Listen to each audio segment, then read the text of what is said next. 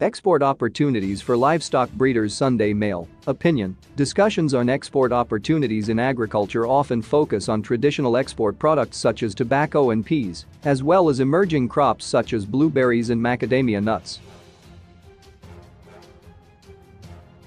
While these are usually top earners, the capital needed for meaningful production is often high, especially for smallholder and rural farmers who make up the majority of farmers countrywide.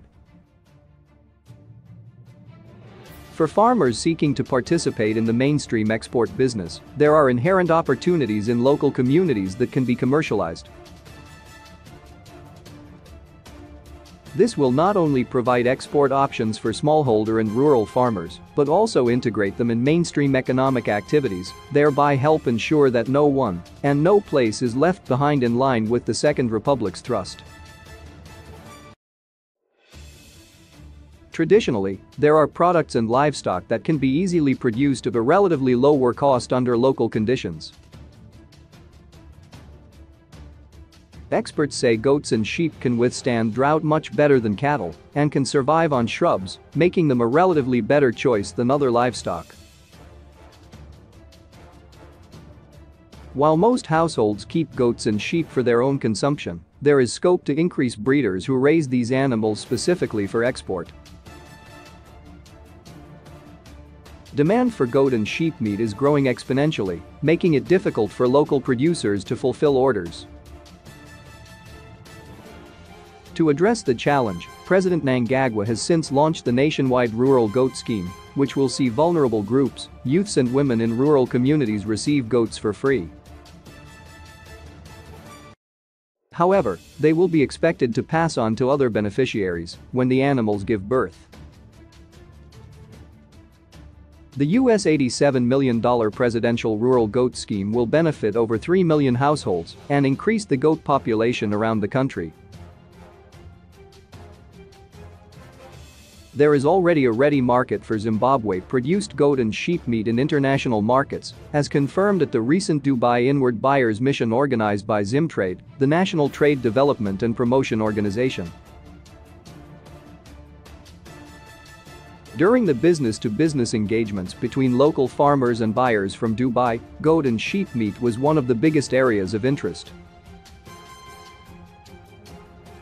Some organizations have already committed to work with private players to get halal certification, which is a requirement when exporting meat and other food products to the United Arab Emirates.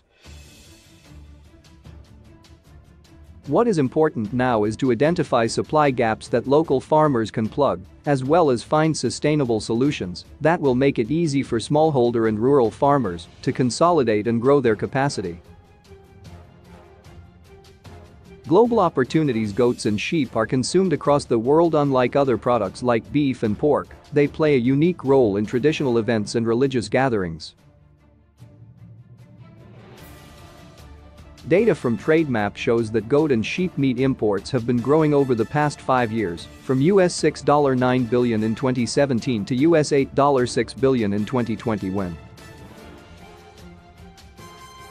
Currently, the largest importers are China, US $2.4 billion, the United States of America, US $1.4 billion, France, US $893 million, the United Kingdom, US $368 million, Germany, US $323 million, and the United Arab Emirates, US $322 million.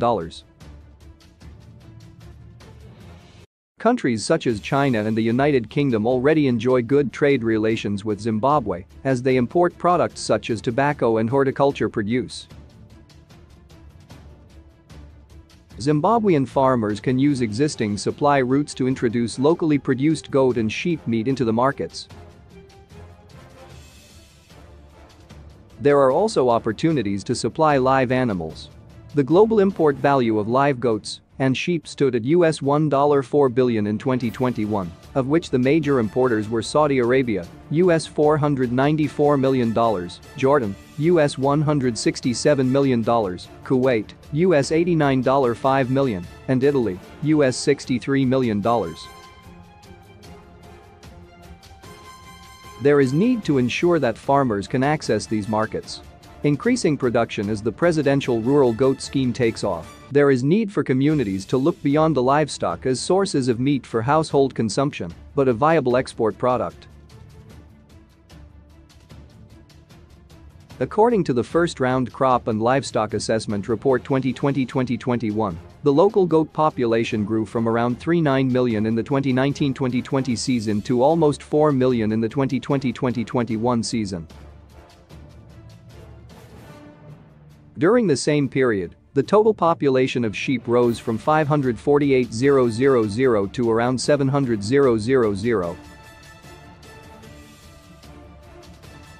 Commercializing the subsector will help increase production and address challenges associated with mortality, including losses to predators and theft. Farmers need to adopt better animal husbandry practices, consider hybrids and treat goat and sheep rearing as a business. Over the past few years, there has been an increase in the number of farmers considering breeds such as Boer, which are touted to have fast growth rates and are good for meat production. There is need for farmers to organize themselves so that they consolidate and meet required numbers. Smallholder farmers are usually the top breeders of goats. Export-favored breeding techniques and standards also have to be introduced. As current production is lower than demand, it may be difficult for a single farmer to sustain demand over longer periods. However, it is encouraging that a few associations have been formed to share ideas. Is Zimtrade's CEO